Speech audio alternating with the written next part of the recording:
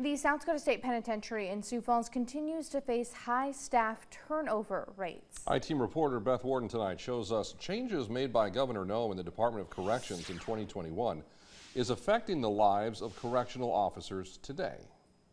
Two years ago, Governor Noem announced several firings within the Department of Corrections, including the penitentiary in Sioux Falls. She acknowledged the burden on employees.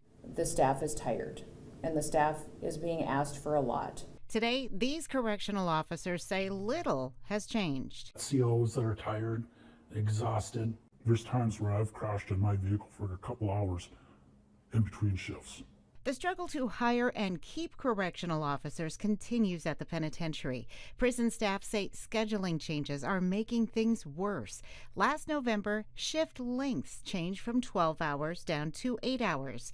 But in reality, many are working mandated double shifts of 16 hours with little notice. Now it says you're walking out the door, uh, don't go anywhere, you're staying.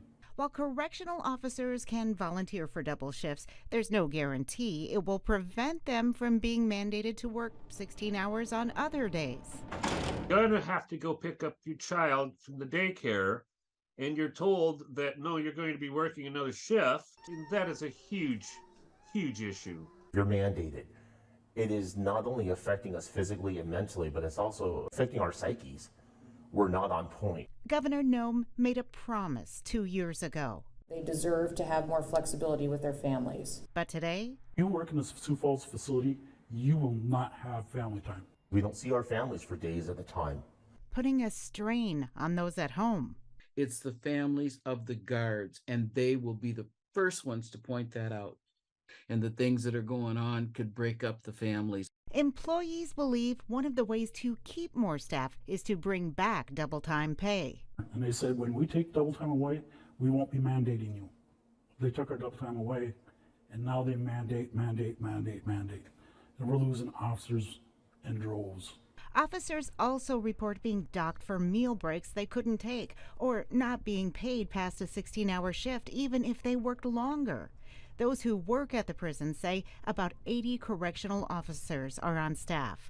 We asked the Department of Corrections how many correctional officers are on staff. The response we received was a journey of words that never provided the specific number. We asked again and received a similar response. In Sioux Falls, Beth Warden, Dakota News Now. Now, we also reached out to a group of co-workers at the penitentiary known as the Correctional Officer Collective. They provided the following statement. We are sick of the lies coming from the administration and Pierre. They are making rules and changing policies, having no idea what the changes do to the facilities.